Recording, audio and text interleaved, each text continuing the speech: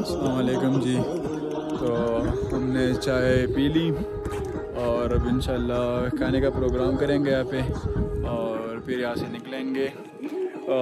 चूँकि मौसम ख़राब होता जा रहा है तो हो सकता है हमारा शाही बांडा जाने का प्लान कैंसिल हो जाए आज। और फिर देखेंगे उसके बाद कि किधर जाते हैं। फ़िलहाल तो यहीं पे स्टे है हमारा और इसके बाद वापसी उधर अपने घर जाएँगे।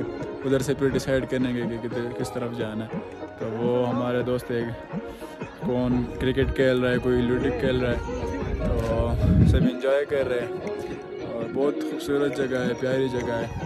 कोई आना चाहे तो मोस्ट वेलकम क्योंकि शहरों में इस तरह की सीनरी आपको नहीं मिलती, गाँव में भी नहीं मिलती। इसके लिए मेहनत करनी पड़ती है, आपको ट्रैकिंग करनी पड़ती है। जो लोग ट्रैकिंग के शौकीन हैं, उनसे मैं रिक्वेस्ट करता हूँ और सजेस्ट करता हूँ कि वो कलाम आए कलाम में आ, ये बांडे देख के जैसे टेप बांडा है शाही बांडा है पलंचई मेडोज है शाही बांडा है जो भी है बहुत सारे बांडे जबई बांडा है जब जिसे कहते हैं तो आए और घूमें फिरें और इन्जॉय करें।